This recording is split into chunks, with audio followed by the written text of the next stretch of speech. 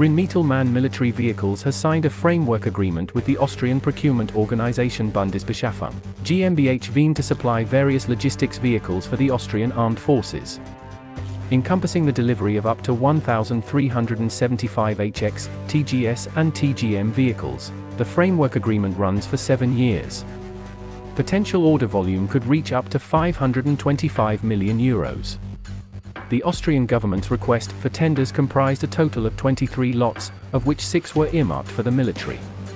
Given the various technical requirements for the lots, Rheinmetall MAN Military Vehicles, RMMV, proposed vehicles from the TGM, TGS and HX model series with different axle configurations. RMMV's proposal also included a variety of build-on systems such as cranes, platforms and tippers as well as roll-off, swap body and snow removal systems. RMMV received the go-ahead to supply Austria with all six lots of military vehicles.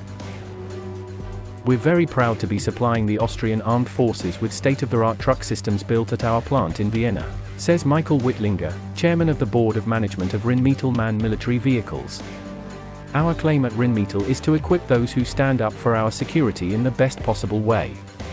We are convinced that our vehicles will protect, support and satisfy Austrian soldiers in the best possible way procurement of the logistic vehicles is part of a comprehensive modernization of the Austrian army.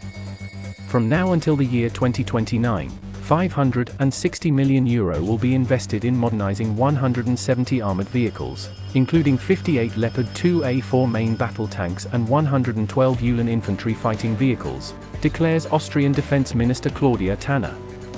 Following the 873 million euros invested in procuring 36 AW169 Lion helicopters, this is the next big step in achieving a modern army.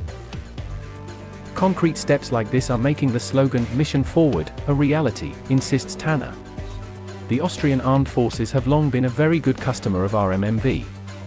They already successfully operate various vehicles from the company's TGM, TGS, and HX model series. Today, over 200 vehicles from the TGM model series with a double cabin and interchangeable build-on systems are in service. Furthermore, during the next few years, vehicles from the HX series with a three-sided tipper and rear-mounted crane will be delivered, as will vehicles from the TGS 8x8 series equipped with a Palfinger hook system. Since the end of 2021, the Austrian military has been using RMMV's integrated armored cabin, which, depending on requirements, can be mounted on existing HX trucks in very short order. RMMV is a joint venture owned by Rheinmetall AG, which holds a 51% stake in the company and MAN Truck and Bus SE, with the remaining 49% share.